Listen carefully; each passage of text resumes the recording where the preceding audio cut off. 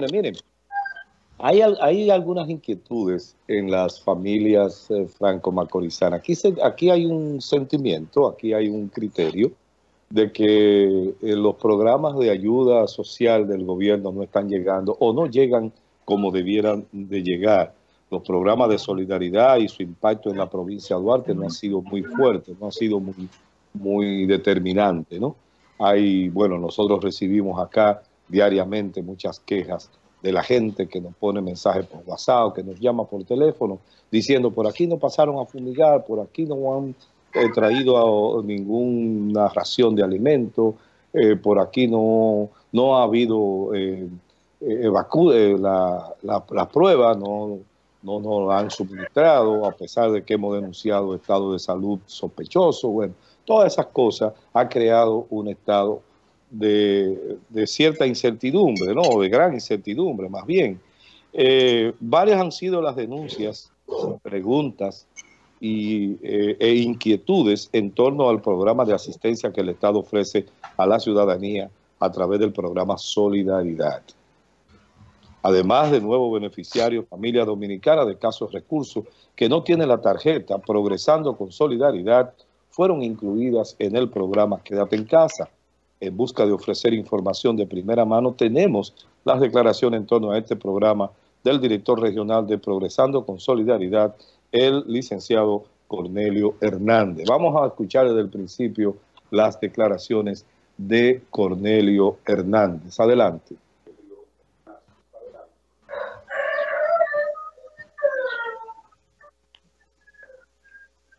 Estamos con el señor Cornelio Hernández, quien es el director regional del programa Progresando con Solidaridad. Eh, Cornelio, ¿cuáles son los trabajos que se están llevando a cabo en la región nordeste con relación a, la tarjeta Solidaridad y al, programa Quédate en Casa?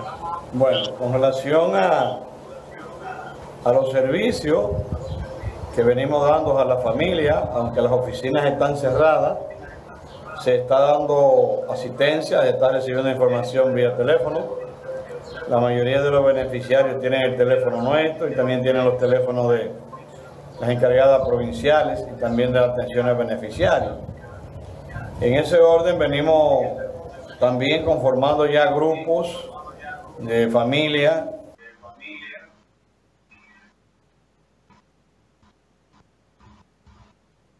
Me parece que hay un error ahí con los muchachos.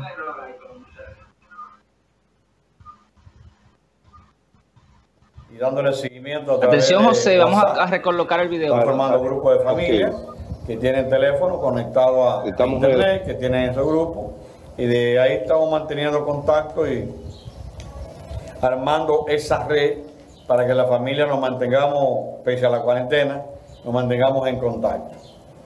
Eh, debo decirte que lo que más ha estado, eh, vamos a decir, sonando, son aquellas familias que en el curso de la, de la cuarentena se le ha extraviado su tarjeta.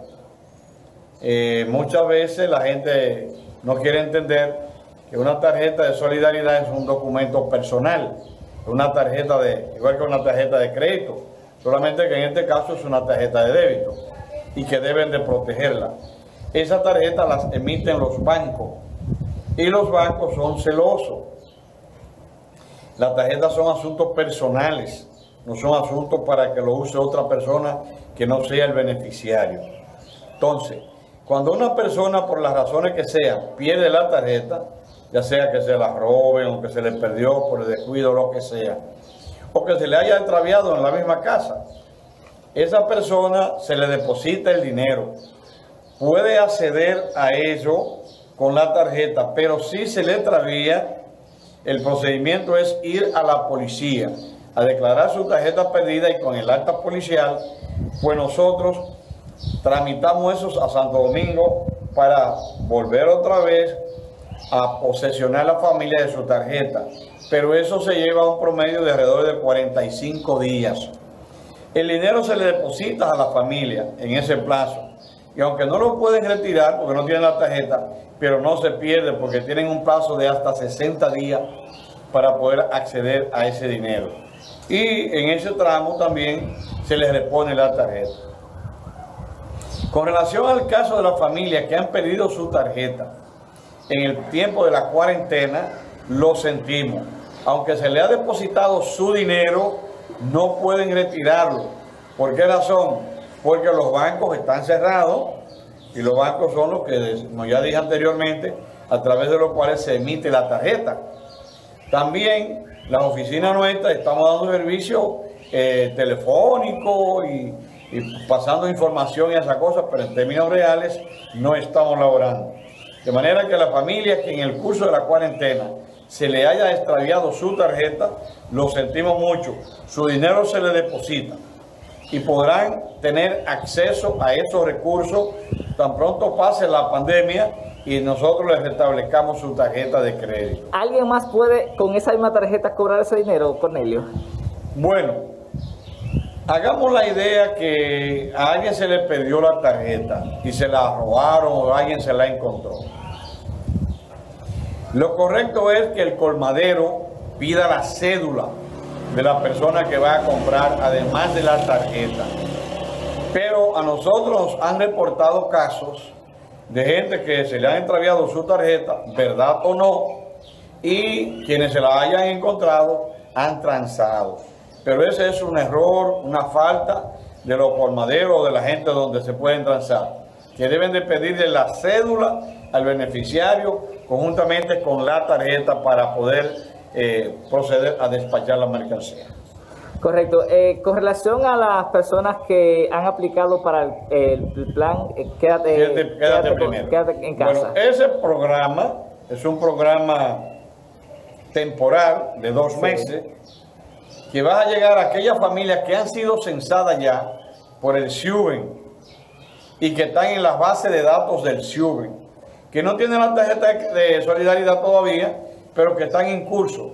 Entonces el gobierno para que estas familias, que son familias en estado de pobreza, tengan un apoyo también, al igual que la gente que tiene la tarjeta, dispuso el programa Quédate en casa.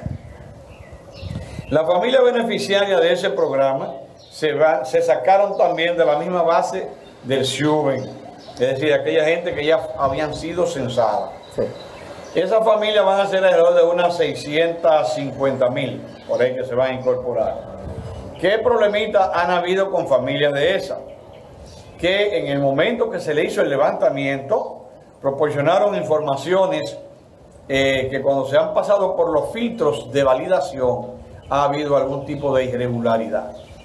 Y familias que pueden calificar, o jefe de hogar o jefa, que califican por información que no se ha podido validar en un 100%, eh, no han sido incluidos. No son una cantidad grandísima, pero sí hay una apreciable también cantidad de esas familias que en esas condiciones no han podido entrar a la fase quédate en tu casa. Cornelio, hay personas que han dicho que aún ah, eh, siendo beneficiados con este programa, cuando van con su cédula le dicen que no tienen dinero, o sea, que no tienen ese, ese dinero depositado. ¿Qué usted responde a esto? Bueno, mira,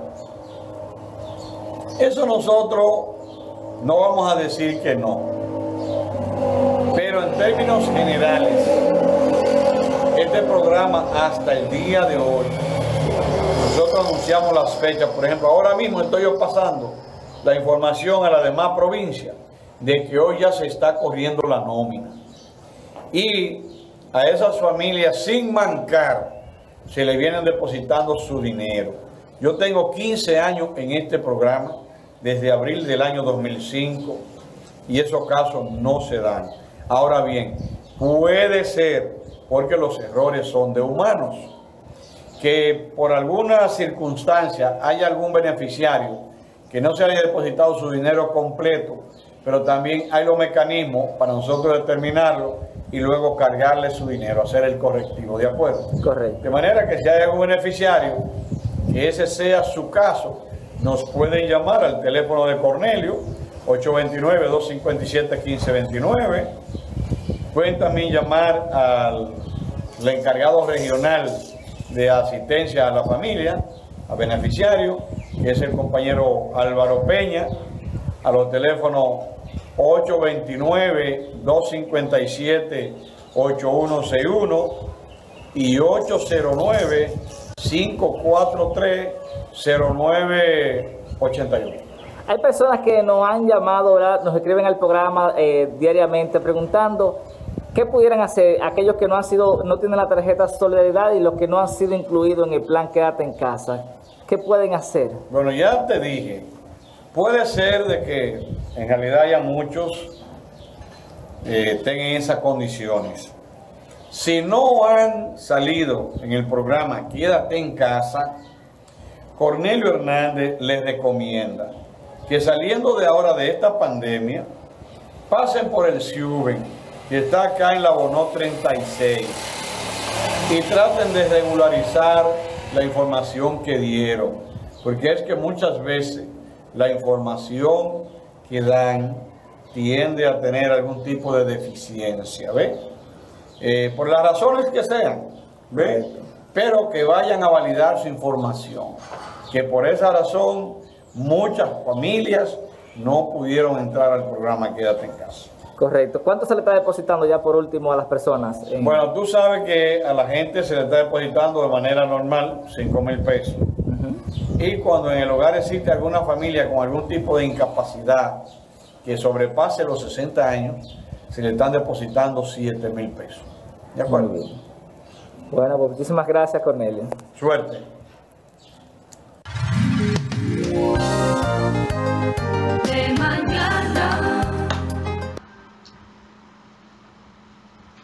Bueno, ahí estaban las declaraciones de Cornelio Hernández. Eh, ustedes ven, miren, Cornelio es un político eh, muy, muy frío, muy eh, sus, sus estilos de hacer política no, no es de este tiempo, sino es más, más, más ortodoxo que otra cosa. Sus mentiras no son tal, sino imprecisiones. Entonces, hay que entender, hay que entender, porque fíjense, hay una cosa, ¿de qué sirve en este momento que yo pierda una tarjeta y tenga que esperar que pase todo esto para poder resolver el problema de la tarjeta, pero no puedo retirar el dinero que tiene? Es como si usted cogiera en una caja de cristal y metiera un filete y se la pasara a un perro hambriento, ¿verdad? Finalmente el perro puede romper el cristal, pero en este caso no lo que quiere decir que esperar 45 días, esperar que esto termine para no tiene sentido porque el dinero lo necesita. La gente que necesita, lo necesita ahora, no después. Entonces yo pienso que fue también una improvisación que no se tuvo en cuenta esas dificultades que pudieran producirse y una manera expedita, rápida, eh, digamos, relativamente sencilla para poder resolver el problema con las tarjetas. Bueno. Adelante, Mira, Uno de los aspectos que me llama la atención es el hecho de, los 7 mil pesos. Conozco personas de manera directa que no le ha llegado de 7 mil. No sé si el parámetro estaba entre los 5 y los 7, pero sí conozco personas que le ha llegado de 5 mil. Y, hemos visto que siempre se habla solo de 7 mil pesos. Eh, otra de las cosas en las que él refiere es el tema de los colmados. Eh, y, hubiera sido bueno preguntarle a Cornelio si hay algún tipo de supervisión. Sabemos que hay alimentos muy específicos que son los que se pueden entregar con la tarjeta eh, Solidaridad, pero eso no es lo que pasa en los colmados. Se les vende bebida, conozco de manera directa, vuelvo y digo, le venden bebidas con la tarjeta de solidaridad. Se supone que son alimentos eh, esenciales o básicos, eh, lo que se debe de comprar con esto. Compran las tarjetas los colmados o gente la, alquila o la vende para adelante. Si le llega de mil o de dos mil pesos o de 800, 900 pesos, le dan 500 en mercancía del colmado y los 300 son para el colmadero. O sea, hay un sinnúmero de irregularidades que sería interesante saber si Cornelio la conoce, mm. si se da ese tipo de supervisión en los establecimientos. Hay muchas situaciones que se presentan con el tema de la tarjeta Solidaridad. En San Francisco de Macorís Cito, lo conozco, sé, no es que me lo han dicho, no sabemos si se da en todos los puntos del país, pero sería lo más lógico. Entonces se supone que si esto llega o que es para gente que la necesita, que es para comprar el arroz, el aceite, eh, que para comprar el pan, el azúcar o el chocolate en el colmado, no se supone que es para que le vendan alcohol, no se supone que es para que se la empeñen, donde hay gente que le compran dos y tres meses eh, si le hace 3 mil pesos por tres meses o cuatro, pues le dan 2 mil adelante. Entonces están haciendo negocio y hay que hacerle un llamado y me imagino que Cornelio debe, de estar viendo el programa a raíz de esta entrevista que le realizó Yerjan. Eh, por favor, que pongan cuidado con esto. Y cierro diciendo, eh, cuando Amado se refería al perfil de Cornelio, tal vez la frialdad eh, o lo sobrio que es, este tema, eh, el tema de las, de las tarjetas Solidaridad, de hecho el nombre lo dice, tú tienes que tener un nivel muy importante de identificación social, de sentir lo que está pasando la gente cuando se le mm. pierde su tarjeta, eh, que tú sientas, Dios mío, pero no va a poder cobrar, eh, no va a esperar, va a esperar eh, que pase la cuarentena, o sea, un sinnúmero de cosas que pasan con este servicio que se da a través del gobierno, esta ayuda social, o sea, que es para la gente más vulnerable, señores. No estamos hablando de que se me perdió la tarjeta de crédito, de que no pude comprar el queso, no, estamos hablando de gente que lo necesita para comer. Bueno, Paul, Francis, entonces, Francis, Francis. Sí. Bueno, eh, Carolina expuso algunos puntos que hay que ver como del otro lado, porque las quejas son de los que están buscando la manera de, de usar lo que se le asignó y ciertamente que las irregularidades, pudiéramos decir que, que hay personas que a la vez han tenido la tarjeta, la han perdido y en la comunicación es muy probable que en la conexión con el uso de tarjeta, una persona que, que use tarjeta y que luego venga a usar una cédula es un tanto cuesta arriba. Pero definitivamente que eh, la fórmula más expedita que ha encontrado el Estado para retribuir o para entregar esta ayuda era la que ya existía, que son las tarjetas Solidaridad, Bonolú, Bonogas, lo que sea. En definitiva, no habrá coherencia eh, o firmeza del proyecto de asistencia social, porque se ligan muchos factores, el colmadero, el usuario, y la institución. Es decir, que, que la verdad es que esperamos que al final el resultado sea el de haber cumplido y que la población haya recibido lo prometido y lo que correspondía para poder sostenerse durante el periodo de cuarentena, que es lo que nosotros aspiramos, y que el Estado en su momento vaya eficientizando el, el plan de ayuda y que esas cosas que denunció Carolina no se den porque también hay corrupción del propio usuario, del beneficiario, cuando exige y hace negocio o transacción para claro, Claro, claro, así es. Otros que verdaderamente lo que lo necesitan es para comer, no lo tienen. Así es. Fulvio. Bueno, la, misma vicepresidenta dijo en un momento, no es para que la vendan, no es para que la empeñen, no es para que la entreguen por otra cosa. Claro, que ella sabe. Ella sabe lo que hay. Entonces, todo estos años... Y Cornelio lo sabe, y todos ellos lo saben. ¿Y por qué no hacen nada? Todo... todo ¿Y qué pueden hacer? Es un documento personal. Todos, todos estos años ellos han tenido tiempo suficiente para ser eficiente o más eficiente esa entrega social. Y ahora, la mafia se trabaja desde todos los niveles en este país. Y ese programa también está sujeto a, grandes mafias, porque hay intereses, hay recursos, hay dinero y les interesa poner restricciones, les interesa poner eficiencia, tal vez sí, puede ser que le interese, pero la han hecho, hay tremendo trecho. Acuérdense a aquel aparataje de los implicados en Odebrecht, que no eran todos los que son, pero que ahí no están eh, los que deben de estar. Bueno, e, esto se parece, se parece eh, eh, dentro de toda esta palabrería y, y, y, palabritas bonitas y nombres específicos para cada programa, se parece a las EDES, que nos tiene 20 años hablándonos de las sedes, con nombres y cosas que ni tú ni yo entendemos realmente qué es lo que pasa. Y estos programas eh, sociales son muy proclives a que puedan ser usados para intenciones de personas específicas y beneficiarse.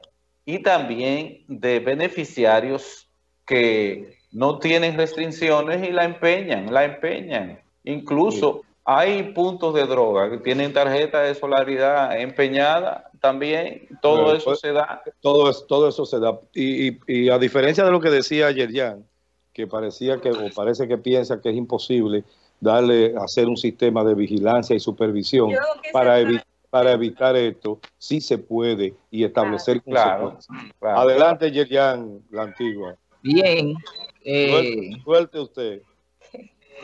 El que usa una tarjeta de crédito, aquí todo el mundo o la gran mayoría de la gente usa tarjeta de crédito. Cuando tú vas a un centro a utilizar tu tarjeta de crédito, en una gran parte te piden la cédula, pero en otra parte no te la piden. Por ejemplo, si yo voy con mi tarjeta de crédito o con la de mi esposa, que tiene su nombre, y, le, y le digo al, al bombero, ¿verdad? Que está ahí en la, así se le llama aquí en República Dominicana, al que está en la estación de combustible, lléname el tanque. Él no me pregunta por la cédula. Entonces, eh, desde ahí parte lo que tiene que ver con las reglas.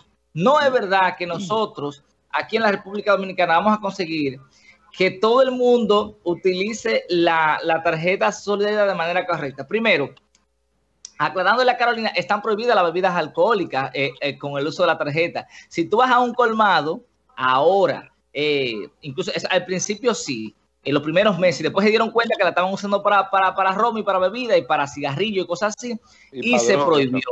Pero Ajá, y se... no sé que están prohibidas, es que se la venden. No, no, pero es que, es que, es que el gobierno no la paga.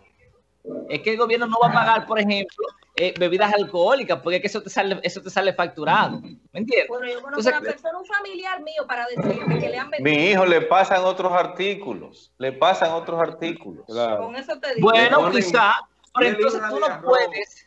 Imagínate tú, imagínate tú que, por ejemplo, por un artículo te pasen otro y que también haya que estar encima de eso, señores, pero, pero, pero por Dios, a una gente que se supone le dan una tarjeta solidaridad para que coma, que no deberían lo que deberían darle trabajo. Yo no estoy de acuerdo con eso de estarle dando cosas a la gente, eh, porque se malacostumbran. Eh, ahora bien, si a usted le dieron una tarjeta, eh, ¿cómo yo puedo impedir como gobierno que usted le empeñe? No puedo hacerlo. Pero se puede hacer vigilancia y consecuencias, Yerjan. O sea, un sistema, bien. un sistema de inspectoría que pudiera estar este, eh, supervisando el uso de la tarjeta en lo colmado con el usuario y establecer consecuencias. Tú cometes eh, ese tipo de deslices, bueno, te quito la tarjeta y punto. Sí, pero tú te que hay gente que no se la han quitado. Yo no creo, ah, eh, yo no creo, que, ese sea el gran problema ahora mismo, ¿eh? Bueno, lo que yo sí le puedo decir a ustedes es que a nadie se le, se le va a pedir una tarjeta ahora mismo en cuarentena cuando están trancados en su casa. No, no, no, no, Carolina, es que tú estás trancado en tu casa. ¿Cómo se está poniendo una, tarjeta en tu casa? Señores, tenemos que decir, aquí hay gente que está diciendo, mucha, no, no todos, pero aquí hay mucha gente que está diciendo, se me pidió la tarjeta. ¿Saben por qué? Porque la tienen empeñada y no sabían que esto iba a venir eh, y que iban a necesitar con tanta frecuencia y que le iban a aumentar la cantidad y por eso tienen el juego trancado. Aquí hay que decir la verdad. Lo que pasa es que, Cornelio, que es un tipo muy, es un eh, muy ecuánime, de, de, sangre, de sangre fría, él no lo va a decir así, yo lo digo. Yo he visto muchísima gente con, con, con 20 y 25 tarjetas de solidaridad. ¿Por qué? Porque la gente le empeña. Claro. Entonces, ¿qué podemos hacer? Eh, eh, quitarla. Sí, hay mucha gente que se la quita. Eh, ¿Qué podemos hacer? Entrar de palo no, no, no, lo podemos hacer. Entonces, tenemos que llamar a la conciencia de la gente. eso, primero, yo no estoy de acuerdo con que ese plan exista. Me excusa la gente que la tiene. Yo creo que a la gente debería darle trabajo que se mejoren las situaciones de trabajo para que la gente pueda accesar a un empleo digno y que no necesite dádiva, porque para mí eso es una dádiva, lamentablemente. Ahora bien, ya que está, por lo menos valórelo y cuídelo, que es lo más importante. y a los colmaderos, a la gente, a los comercios, cuando una gente va con esa tarjeta, no permitan que la use si no viene acompañada de la cédula del propietario porque es igual que la tarjeta de crédito. Incluso yo les he reclamado algunos eh, comercios, pero ven acá, esta tarjeta de crédito, eh, me, tú, no me, tú no me preguntaste, no me tomaste la cédula para confirmar si esa tarjeta es mía. Ay, eh, sí, escúcheme, préstame su cédula. O sea, pero por Dios, es que es un deber que cuando una gente va con una tarjeta de crédito a utilizar un servicio en un centro comercial cualquiera, deben exigirle la cédula para confirmar que ese documento es suyo y usted no pueda eh, eh, transar con eso, que posiblemente usted se esté robando esos cuartos. Y con eso termino. Bien, gracias, Yerian. Bueno, la pregunta del día, señores, ¿han realizado operativo de desinfección en el sector donde usted reside? Repetimos la pregunta. ¿Han realizado operativos de desinfección en el sector donde usted reside? No. Escríbanos. al, escríbanos. En ningún lado de eso.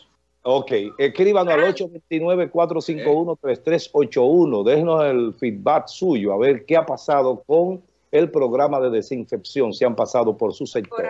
Por aquí, Esa es la pregunta del día. Francis, si tú y yo estamos cercanos, posible no, eh, ustedes, ustedes son más favorecidos. Ustedes son más favorecidos. Son más ricos que ustedes.